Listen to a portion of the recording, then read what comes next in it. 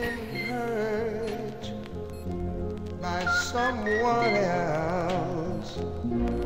I can tell by the way you carry yourself.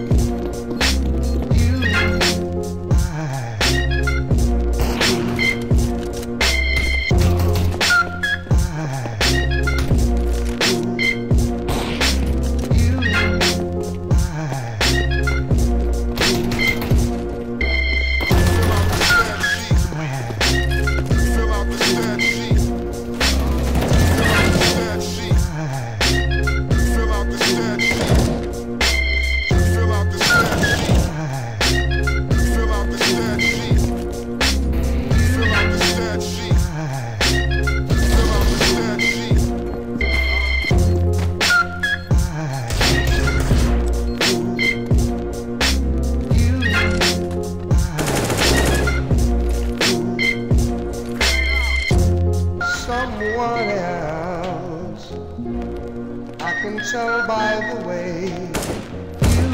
You